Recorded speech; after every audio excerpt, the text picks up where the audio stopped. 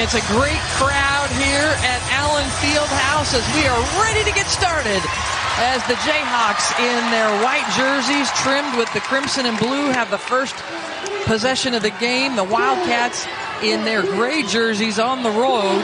And it's going to be a lot of fun today, Nikki. Well, it is. You're going to see two styles of play that are very similar, but right now Kansas is spreading the floor and taking their time. But the one thing you don't want to do in the first possession of the ball game is turn it over. Kansas State comes down the court, as I mentioned in the open.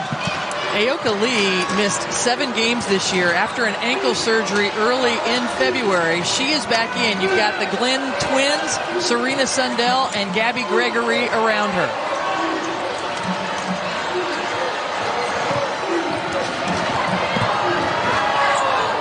Four seconds on the shot clock. Gabby Gregory short on that attempt. And as you can see here, this is the advantage that Kansas Jayhawks will have. When you have Jackson running the floor as well as she does, you've got to take advantage of your bigs getting down the floor. Sundell, such a tall point guard, spins in the paint. First basket for the Wildcats. Sundell obviously has a slight height advantage, and she was able to create a little separation there and a nice paint score for the Kansas State to get themselves on the board.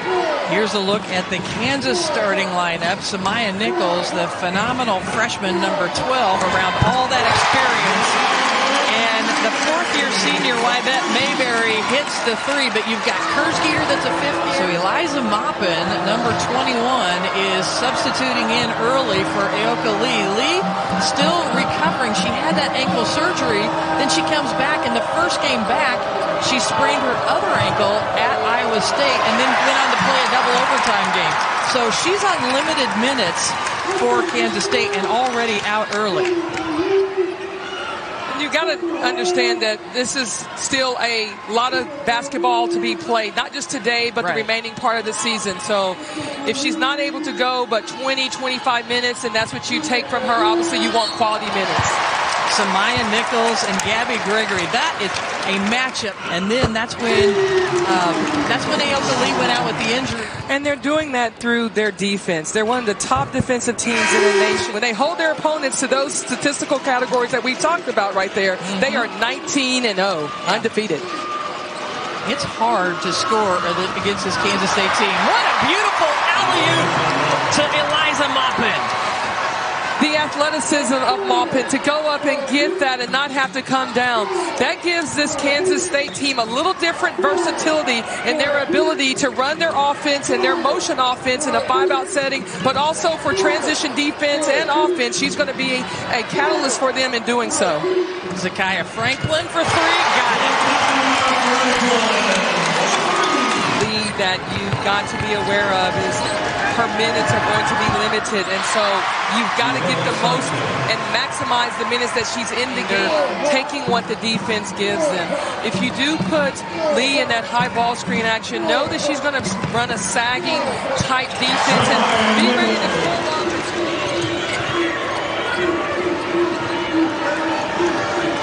Walker goes into Lee. Lee hasn't scored yet. Missed two misses again. 0 for 3, Ayoka Lee here in the early going. Give a lot of credit to Jackson. Uh, she has just been solid. And so has S'Mya Nichols from the three-point line. Three different players have made a three-pointer so far for Kansas. Lee tries to bury Jackson deeper, and Jackson flicks the ball away. Out front to Jackson, scores it in transition. And that's what Jackson brings to this team, her ability to run the floor. The only game they didn't win was the first game of Big 12 play against West Virginia. And they've won the home game in this matchup with Kansas State the last three years in a row. The energy, though, that's in this building today is electric, and the Kansas team has really bought into what the game plan has been for them to establish themselves. And right now, one way to establish Kansas State is to go inside. Draws Kansas State within nine. S'Mya Nichols going to work.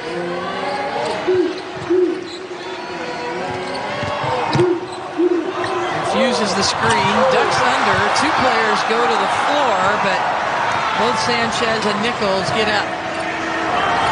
Sides for three. That's her specialty.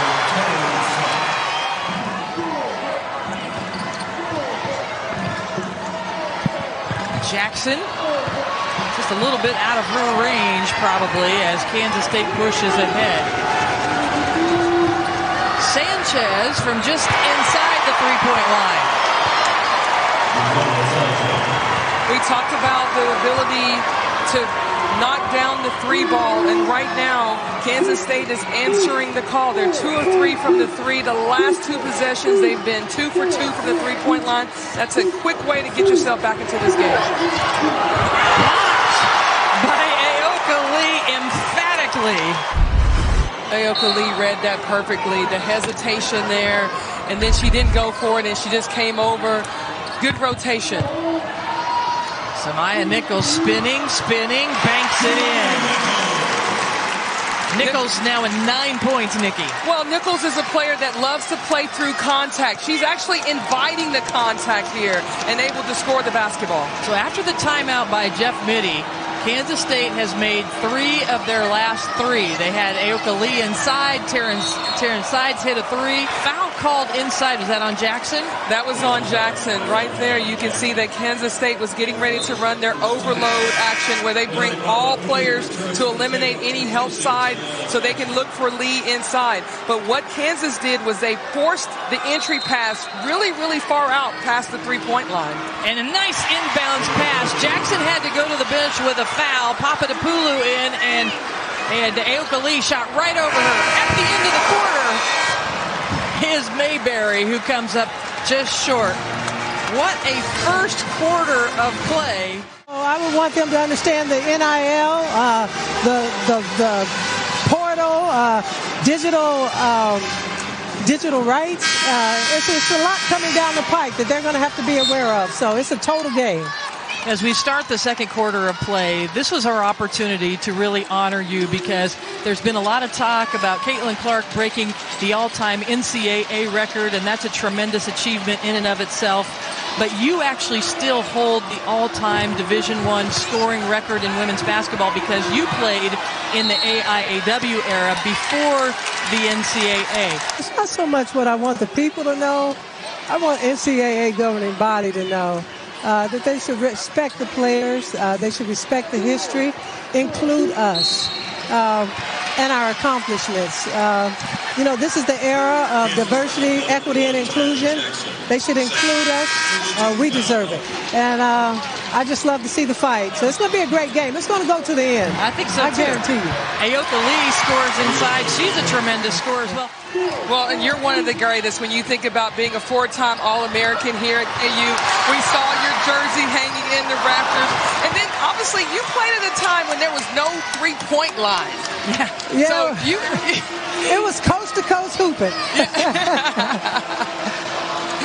I mean, just to score 3,649 points during your four-year career here. Obviously, we are honored to have you here, sitting here today. But also, you represented our country in the 1984 Olympics as a uh, in Los Angeles as a gold medal winner. You've done it all too. So as we talk about and give Marion her flowers, we also need to give you yours.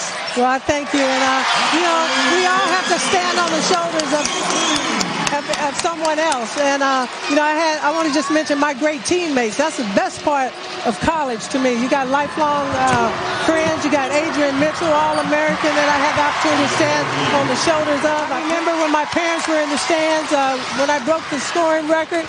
And, you know, that's something I always have in my heart. Well, we are so honored to be joined by you. We want to celebrate your career scoring record has lasted for 43 years. It's possible that it might get broken in the next few games. And what would you want to say to Caitlin Clark about that? Hey, congratulations. Welcome to the party. Thank you so much, Lynette. Uh, thank you for having me. You bet. Absolutely. Appreciate it so much. Absolutely. Kansas State down by one with Serena Sundell out at the top of the key. Maupin spinning. She scores inside and one opportunity for. She catches outside the lane here, and you can see the first step is real quick with the spin move. Didn't necessarily call the contact for the and one play, but here's another offensive rebound by Kansas State. Gabby Gregory with the offensive board. The game, the game is typically a game of runs, and right now you can see that Kansas is struggling offensively. On ESPN2. Boy, this is going to be a great one. Number 11, Colorado squaring off with number 12, UCLA. Coverage begins at 9 Eastern, 6 Pacific. Charlie Creme currently has both those teams projected as number 3 seeds in the NCAA tournament. Both free throws made by Gregory, Kansas State they were down by as many as 11 points early in this game as Kansas jumped out to a 17 to 6 lead. Kansas State has come back even with Ayoka Lee in and out of the game, Nikki. The rhythm of the game right now is playing in Kansas State's favor. And right now, they're not only scoring the ball in the paint, they're also scoring it from the outside. Right now, Kansas State's defense has really done a nice job of disrupting Kansas offense. They're only shooting 10% in the second quarter. They've only scored three points here. So now you're allowing your offense to dictate your defense, and that's the last thing that you want your players to do. You mentioned S'Mya Nichols from Overland Park, Kansas. She grew up watching the Lynette Woodards of the world, and so when you're able to come and put that jersey on, you're representing something more than just yourself. You're representing the institution. You're representing the community that you come from. Just coming down Kansas Highway 10 over from Overland Park. We have a Skylar Hill, the junior that transferred from North Alabama. A lot of things going on. Caitlin Clark is actually playing right now for Iowa. And uh, a lot going on. Boy, South Carolina continuing to roll. They wrapped up a share of the SEC title. A great Big 12 games yesterday as Serena Sundell stays with it and scores. Hey, if they tip the ball, let it drop because they didn't see any reason to call the double dribble there. And so they'll just stayed aggressive in that play action, and that was really good. What a big screen right there. And again, the ball screen action that Kansas should continue to run because the way that the post players for Kansas State is playing that, they're sagging off. So if you can set those screens a little bit deeper for Kansas, they then can be able to pull up, well, at any time that you're playing against your in-state rival, you have to have players that are wanting to step up and play.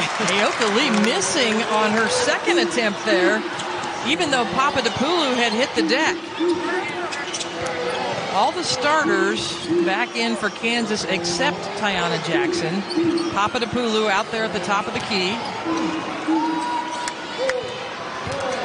Glenn all over Nichols. Shot clock winding down. Franklin pass off to it bouncing. Nice play action there. Going inside when when Ayoka Lee helped up, that allowed Papadopoulou. Listen to me right now. Papadopoulou. Papadopoulou to get the put back, easy, or to put in right there because she was not guarded because the defender had rotated off. Glenn from the corner, rims in and out. And Kansas has a chance to tie it or take the lead here at the half. Again, don't leave any time left on the clock here. Run it down to the end. Get the shot that you want. Six seconds. Mayberry. Oh, stolen away by Glenn. Glenn pushing out in front. Does she have time? Does it count? It goes in. The officials wave it off. Ayoka Lee leading the way for Kansas State with eight, but also Taryn Sides, the freshman, has eight points as well. S'Mya Nichols leads for KU. And keep in mind, when we were interviewing the Hall of Famer Lynette Woodard at the beginning of the second quarter, Taiyanna Jackson picked up her second foul, and so she only played eight minutes in the first half. The two centers are back both in the game going against each other to start the third quarter.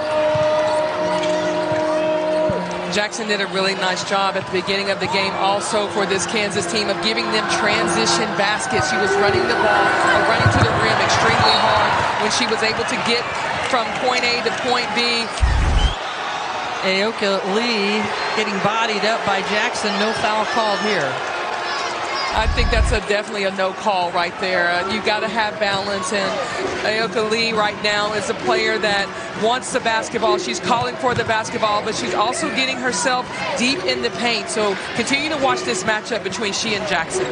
Mayberry goes inside to Jackson. Jackson with a little nice left-handed stab hook. Comes up short, though. Jackson in the first half, four points, one rebound, a couple of block shots for Kansas before the foul trouble. Ayoka Lee working inside. Look how deep she has Jackson buried. Mayberry, who has the ball, had her career high against Kansas State last year. She had a 26-point game against the Wildcats. She's got just three on a made three-pointer. I don't think that was the offensive uh, execution that Coach Schneider wanted them to run. He likes the ball to move around. He likes player movement, ball movement. Lee blocked by Jackson. And Lee is slow to get up, so that mismatch inside Jackson on Gabby Gregory, and she's able to score, and then Gabby Gregory goes down hard, and a whistle is blown. Gabby Gregory is, is one that has been so solid for Kansas State. Not only a great scorer, but also someone who plays extremely hard on the defensive end of the basketball. She was all Big 12 first team last year when Ayoka Lee was out for the season, the transfer from Oklahoma. This year she's averaging about nine points a game. I mentioned she's been dealing with a shoulder injury all year long, so hopefully she gets back on the court. Lee had everybody buried, but she kicks it out to Glenn.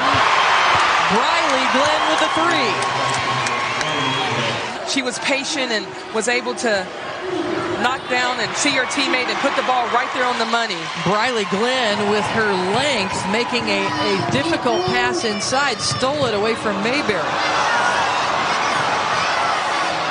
Sanchez into the game being defended by Kersgieter. Sundell gets it maybe partially blocked by Jackson. Kersgieter into the front court, out to the corner to Franklin. No.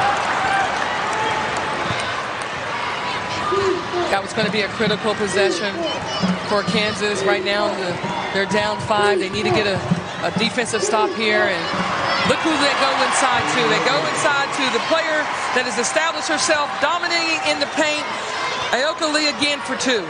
12 points now for Lee to go along with six rebounds as Jackson kind of got out of position and nobody was there to defend her. Nichols steps back. Ball screen from Lee. Little switch off and then a turnover from Sanchez. Sanchez didn't read that right. I thought the defense, both of defenders left her. She probably had the open jumper, but forced the ball inside. But again, that high ball screen. Nichols scores off the ball screen. Kansas State got out to their biggest lead of the game, 37 to 30. Kansas on a little mini run of four to nothing. Sanchez pulls up and stops that run. Sanchez is one of those bigger guards and standing at 6'3", a freshman. Again, that dislocated finger hasn't bothered him. And Nichols has scored, I believe, on three straight possessions. Looked like Sanchez might have gotten away with a travel stays with it. Jackson with the rebound. And watch Jackson right now running to the rim. And she's beaten Lee down the floor, but Kansas didn't take advantage of it. Mayberry ties it Again, this game is about runs and stops and who's going to want it more. And right now, both of these teams are showcasing what they do best. In transition, you've got Kansas that likes to rim run, but also they have spot-up shooters who can knock down the three. Right now, they are 5 of 11 from the three-point line. Briley Glenn made that shot along the baseline. We haven't had a stoppage of play for a while. We're due for a media timeout under five. How about Taiyanna Jackson just decides to pull the trigger from 15? We discussed what a win for Kansas would mean. They're trying to get themselves into that NCAA tournament. A victory for Kansas State. Offensively, she has been a nightmare for, for K-State and continue to watch for her to elevate her game, especially when they're running the high ball screen action for her. Franklin is fouled by Taryn Side. And they're doing so in the middle of the floor, so it's not allowing for there to be a lot of help. And this Nichols kid, she loves contact, mm. and as you can see she right sure there, does. the up and under. and She is a native of Overland Park, Kansas, went to Shawnee Mission West High School just last year. She misses the first free throw. What an ESPN NBA Sunday doubleheader we have for you. It starts with Steph and the Warriors hosting the Nuggets at 7 Eastern. Then the Kings square off against the Clippers. Our coverage begins with NBA Countdown at 6 Eastern, 3 Pacific, as Nichols hits her second free throw to give the Jayhawks the lead. They led early in the first quarter by as many as 11. K-State came back and took the lead. They've held the lead, so this is just the second lead change of the game. But I think we might have a few more. There's one right there as Maupin scores inside really unselfish play. When you compare that to some of the greats in the Big 12, the only other centers in Big 12 history that have those kind of numbers are Brittney Griner and Courtney Paris. Well, that's great company to be in, and that just tells you how dominant this young lady has been for Kansas State and to do so in a very tough conference as well. But when you're in the class and Brittney Griner, anytime you say Brittney Griner, that's greatness. Under 10 to go in the third quarter as K-State with a chance here to extend their lead, and it gets tipped out of bounds by Holly Kersgieter.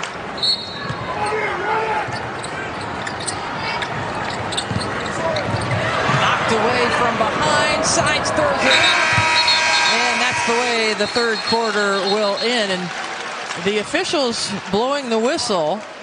So 0.5 is what we have back on the clock. So a chance if they throw it the length of the court for Kansas. It's got to be a tip, but at this point. and they decide not to. As we take a look at the scoring by quarter, talk about a great game.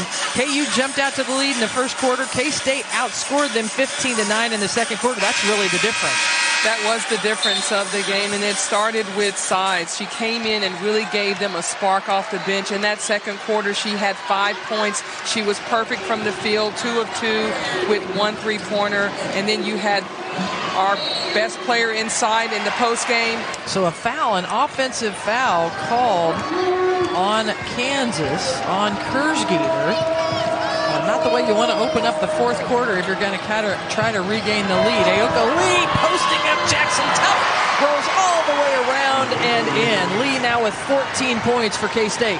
Lee did a very nice job of timing up her duck in.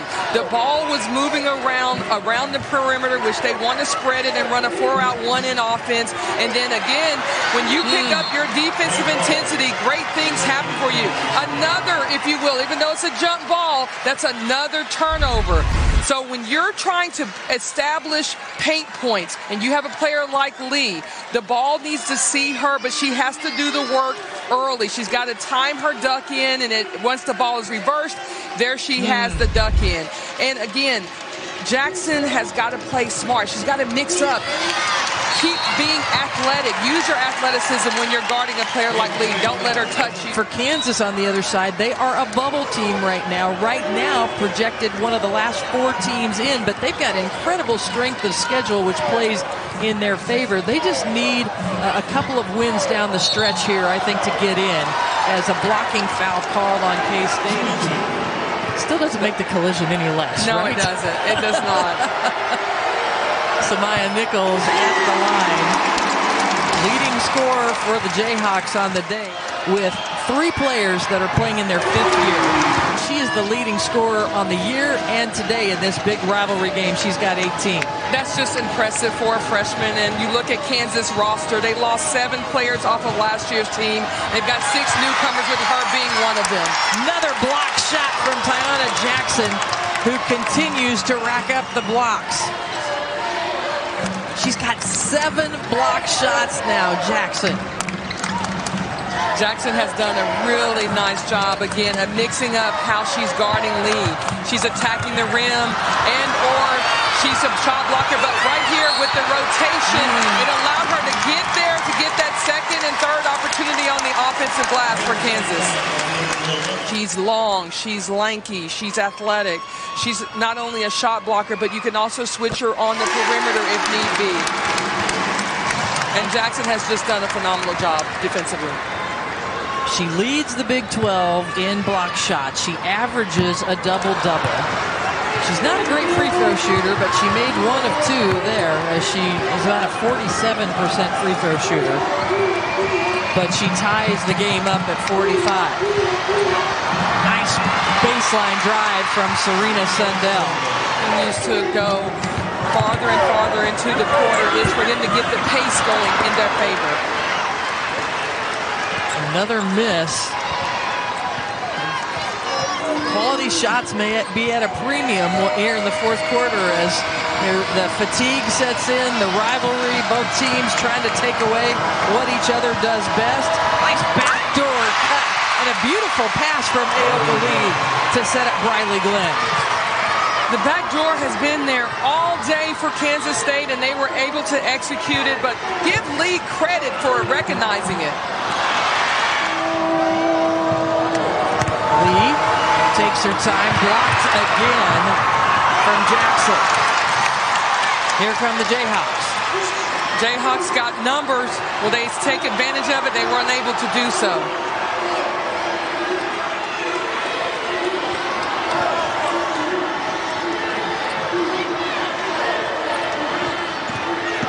Mayberry has the right side of the paint, has it stripped by Sundell. And it will stay Kansas basketball with eight on the shot clock. This game is going to come down to possessions, time in possessions, and making sure that you're getting the quality shots that you want for your team. Nice high pass. For the tip in. He's had a couple of alley-oops today. Kersgieter now moving into fifth all-time on the scoring list for Kansas.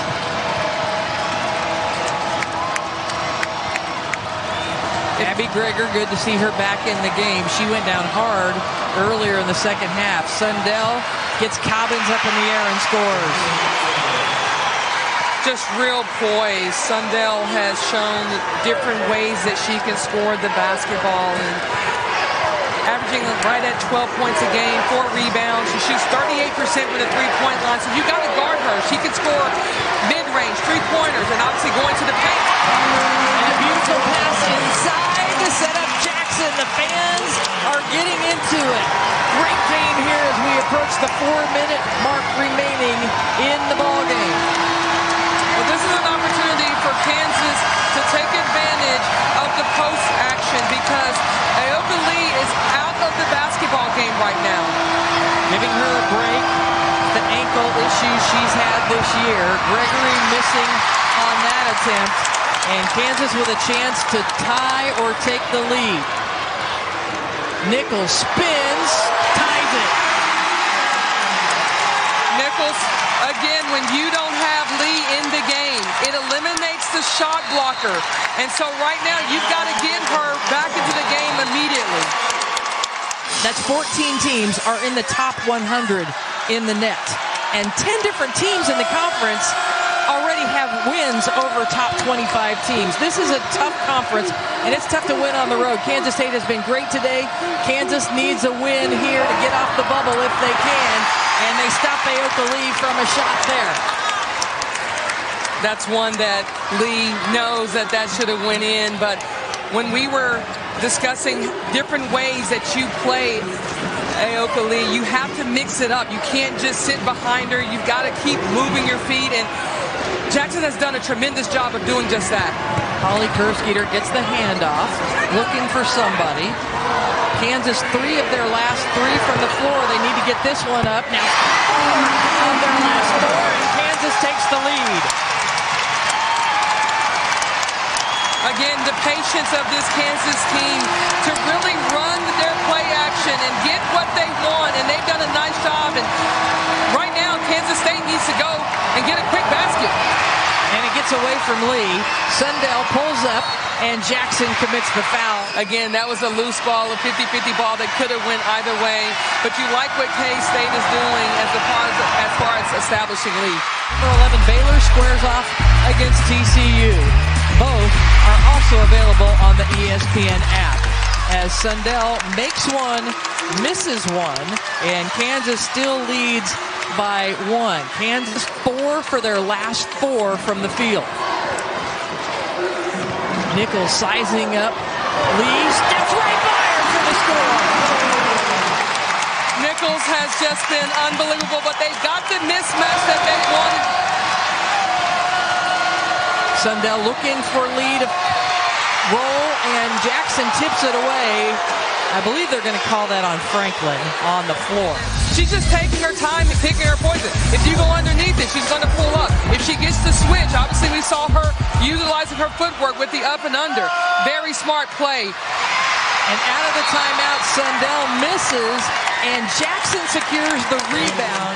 She's got 11 points, six rebounds, and eight block shots. She's nearing a triple-double today. We talked about the second quarter, which was a great quarter for K-State. Well, that had a lot to do with the fact that Jackson was out of the game. Makes a big difference for Kansas. Nichols again gets the ball screen, measures up against Glenn, throws it up, no foul called, and we got a minute to play in this game. Sundell cut off, Kersgieter steals it, and Kersgieter going to pull up and use some time. Glenn picks up the foul, and Jeff Mittie said, we didn't need a foul there. 49.7 seconds to go. Now you're putting her at the line, and this now becomes a two-possession game. Again, understanding time and possession. I mean, the only thing that helps is it doesn't allow Kansas to use the full shot clock, but it does put Kersgieter, a terrific free throw shooter, well, if you get the defensive stop, which is what you would hope that your team would be able to do. That would still allow you to have a full possession, if you will, to come down and run the play action. You could have went and got a quick two, or you could have went and said, hey, I got a good look at a three at a three-point shot as well. So it's a two-possession game now, and a foul called on Cobbins, but that's just the fourth team foul. You've got a 13-second difference, so you still won't have to foul. K-State only has one timeout left, so they have to be careful about how they use their timeouts. Sundell stopped by Jackson. Glenn, top of the key. Strong. Jackson rebounds it. Now you have to foul. Immediately, you have to go and foul the basketball. And the foul is committed, and these fans in Allen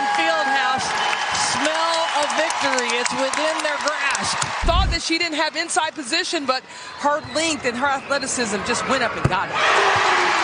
Holly Kersgieter now in double figures for Kansas. A 73% free throw shooter misses the second, but it's still a six-point game. Kansas State calls their last timeout. Kansas State down to six here with the ball, but it's punched away by Holly Kersgieter, and she steps out of bounds. So they're saying they're going to review it. Her Jayhawks made that that record may be broken in the next couple of games by Caitlin Clark, but she still owns that record.